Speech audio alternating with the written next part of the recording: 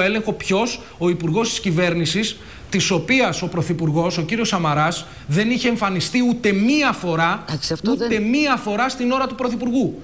Ποιος ε, και κάνει κριτική σε ποιον, στο σημερινό πρωθυπουργό, ο οποίος έχει κάνει περισσότερες εμφανίσεις στο ελληνικό κοινοβούλιο από οποιονδήποτε άλλο πρωθυπουργό έχει περάσει τα τελευταία 15 χρόνια.